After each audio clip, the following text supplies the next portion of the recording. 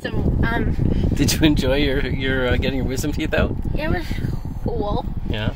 How are you feeling now? I'm feeling fucking great, dude. I'm Uh, having fun. that's good. Do you have anything to say? Like if this was gonna be posted on Instagram? No. I'm gonna tell them my secrets. It's always what it feels like.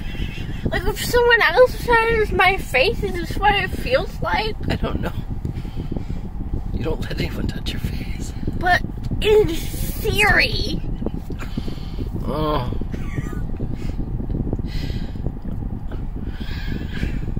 oh my tongue was out further than I thought. It's it's so long. Oh. Don't do that, dumbass. Don't tell me what to do. You're not the boss of me. You can't tell me what to do. I literally am. I'm too powerful. I'm too fucking fierce and strong and powerful.